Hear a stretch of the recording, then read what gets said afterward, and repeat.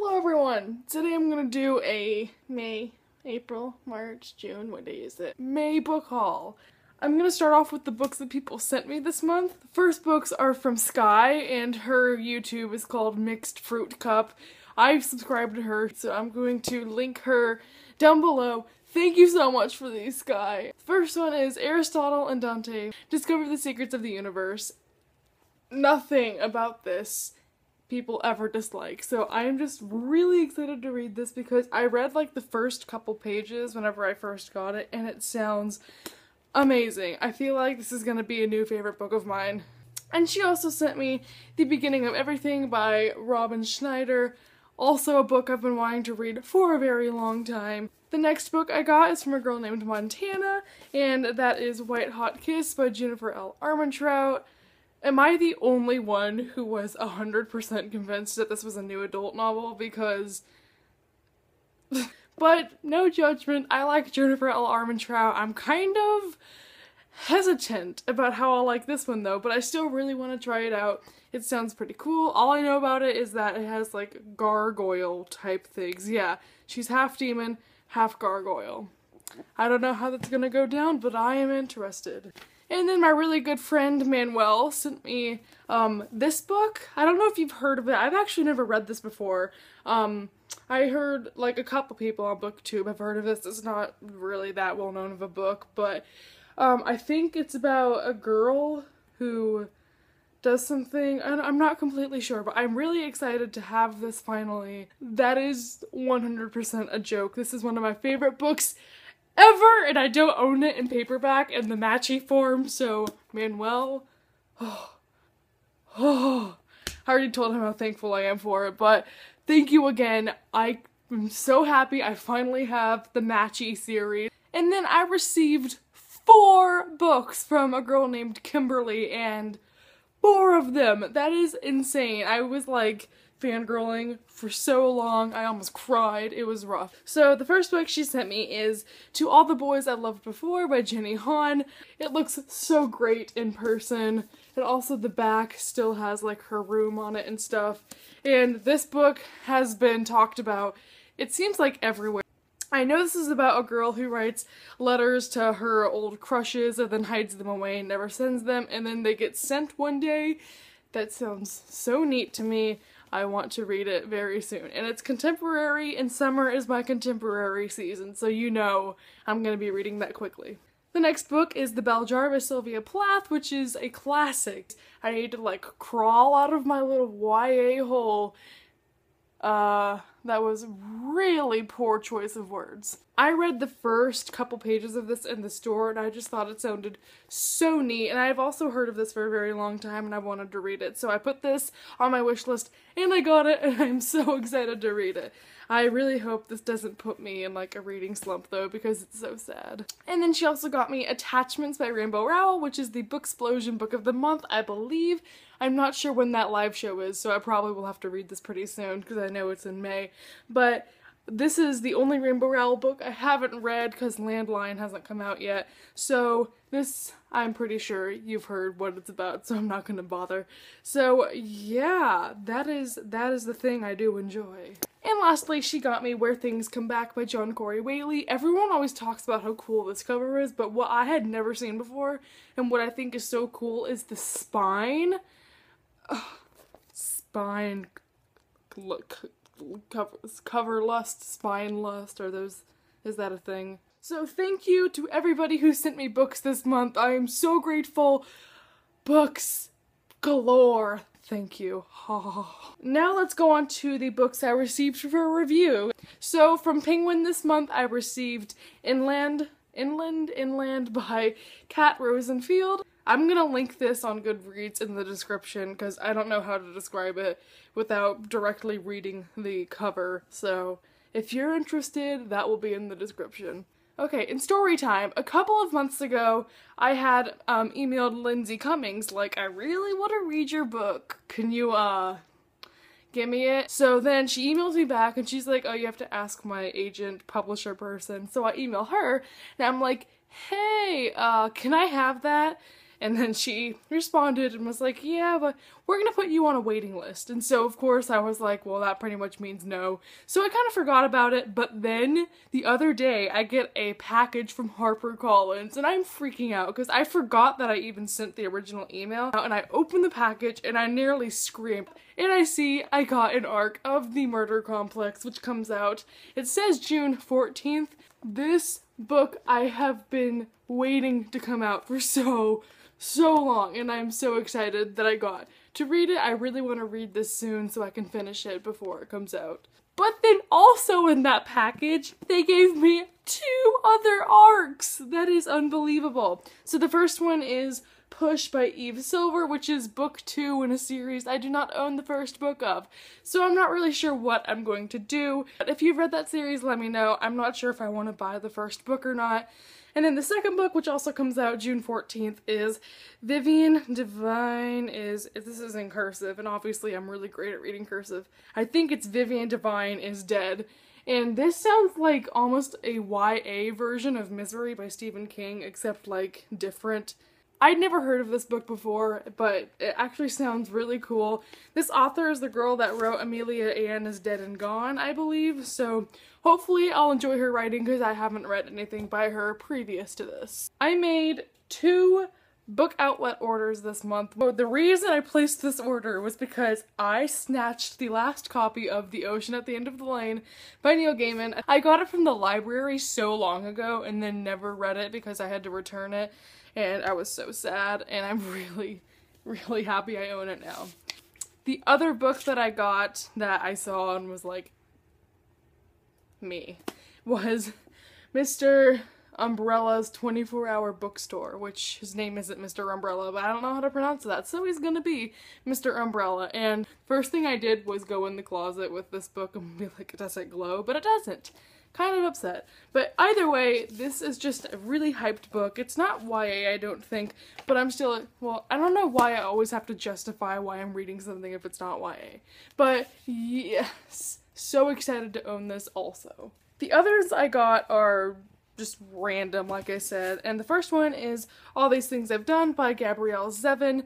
Zevin, this book I bought because I've heard of it for the longest time and I think it has the coolest plot. It's in a society where chocolate and coffee are illegal to have, so I'm 90% sure it's dystopian and it just sounds so so neat. This next book is one that I don't think I've ever seen talked about on booktube, but I've seen people on Tumblr be raving about it, so I really wanted to get it. This is Saving Francesca by Melina Marchetta. I hear it's really good and it's like contemporary but kind of has more serious undertones. Undertones, what am I, an artist? The next book is Two Way Street by Lauren Barnholdt. I'm kind of digging road trip books at this point. Um, between this and Amy and Roger's Epic Detour, I'm gonna be set on road trip books this summer. And the last book I got from that order is Meant to Be by Lauren Morrill. I first of all really love this cover. Every time I see it on Amazon, I have like a twitch because I'm like, really pretty. Need to buy, but I don't. So now I have it, and this book is about a girl who is like a really strict, this is how my life is gonna be, and then as kind of cliche, a boy helps her break out of that type of mindset, I think. And the second book outlet order I placed this month, um, I think it's, I got three paperback books for like 650 so I was doing really well. The first book I got that was on um, clearance was Every You, Every Me by David Levithan. It has, I'm gonna seem so nerdy, it has uh, strikeouts, so I was like, Yes. I miss strikeouts and shatter me or ignite me so much. Like it's not the same. So I'm really missing my strikeouts and this has strikeouts and it has pictures and I think this is going to be so good. David ne David Levithan never fails to impress me with anything he writes. And then another book I got for like 150 is Easy by Tamara dying. Tamara Webber kind of mad because this book is like scratched and the edges are really dinged and I'm like 100% sure it wasn't a scratch and dent. But whatever, and this is a new adult book. This is the only new adult I will have read other than Abby Glines, and I'm really excited to read this. I've had someone recommend this to me like a classmate, so it's not just like a random internet person being like, Casey, is The Running Dream by Wendelin Van Draanen. That is a name I cannot say, but my friend Tris from Books Overlooks reviewed this the longest time ago, but I remember ever since then wanting to buy it, and I finally have it, and this is, I think, just gonna be like an uplifting type read. Maybe it's not gonna be. It's like a runner who yeah, loses one of her legs. I have just a handful of books that I got from Half Price Books this month.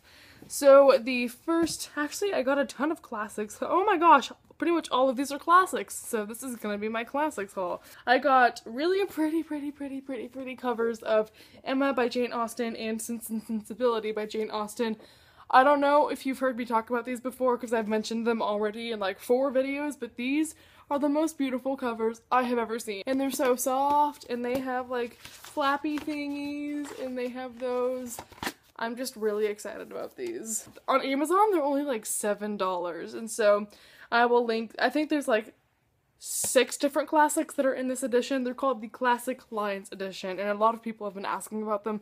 So I will, again, link Amazon links to those down below. The next book that I got is Jane Eyre by Charlotte Bronte. I know that Reagan and Katie from Cat Sky Rider 24 both really adore this book, and I haven't read it. At the beginning of the year for English class, we read The Great Gatsby by F. Scott Fitzgerald. As you can see, I have marked several things in this book that I liked because I just really like his writing. And so I was thinking to myself, I want to read more F. Scott Fitzgerald stuff. So I got a bind up of This Side of Paradise and The Beautiful and the Darn Diddly Dude because I can't say the D word. Wow, arrest me. It's in like a 400 page book that I can do easily and I just really want to experience more of his words. Another book that I got is Liesl and Po Liesl. Oh, there's no vowel between the S and the L. How does one pronounce? This book I found for a dollar in the clearance section of half price books, and this is Lauren Oliver's middle grade novel, but this is a UK cover, I think. Well, I don't think I know, because right here it says 9.99 pounds. So that's really funny. Then I got the sequel to Stargirl by Jerry Spinelli, which is Love Stargirl. It's told in letter type format, and I really love Stargirl. It's one of my new favorite books. I highly recommend it, and I'm so excited to read this one also. And lastly, we're going to venture into the land of hashtag Reagan made me buy it because I found a copy of The Furies of Calderon. Calder, Calder, she's sighing at me so hard right now. Called Calderon. Calderon. I am not really good at this, can you tell? This is the first book in the Codex of Alera series. I'm pretty sure you've heard about this if you subscribe to Reagan. And this is just something I did on impulse because I was like, Reagan, I know you like that. And always trying to be more like Reagan, I bought it. So again, I don't really read fantasy, so I'm trying to, like I said, get out of my little hole of YA and just venture into the real world where I can read books about things that aren't teen angst. And that is everything. Finally, we are done. I just realized I'm not even done. That's embarrassing. I just started wrapping this video up and I still have four books to talk about. On May 6th, I went to a book signing and I got three books there. This one I have already read, and this book actually is not for me. This is for you. I have a giveaway going on, on right now on a different video. All you have to do is comment on that video. So I will link it below. You can watch the video. You can hear the rules there. So if you want to win a paperback, signed copy, if I can find the signed page, signed copy of the selection, then all you have to do is go to that link and follow whatever I say there. But then I picked up for myself a copy of the one, which I've already read, and thought it was pretty good. And then also the selection stories, and I still have my Whitney sticker in here from when I got it signed. Take that out now. Now I'll never forget my name. And lastly, this is really ridiculously embarrassing, but also I'm just so, so happy. If you follow me on Twitter, you have already seen this. You already know what the deal is. But if not, I got a German copy of Shatter Me, and I didn't get make someone get it for me. I didn't get it from the American Amazon. I went to Amazon.de and Google translated the hecky out of it. So we were just like getting emails from them in German and we had no idea what they were saying. It was rough. Ooh, I forgot to pronounce the title because I know I'm gonna butcher it. Okay, ready? There's a lot of in it. Ich fürchte mich nicht. Yes. Now we can wrap it up. So thank you for watching, everybody. Um, hopefully you'll keep tuning in.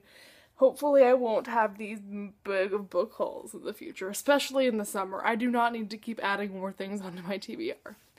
So I'm gonna go add all these on my bookshelf right now because I'm in the middle of rearranging, which is why we have a very depressing looking hole over here. So thank you for watching. I'm pretty sure that's the fifth time I've said that. I will see you next time. Goodbye, everybody.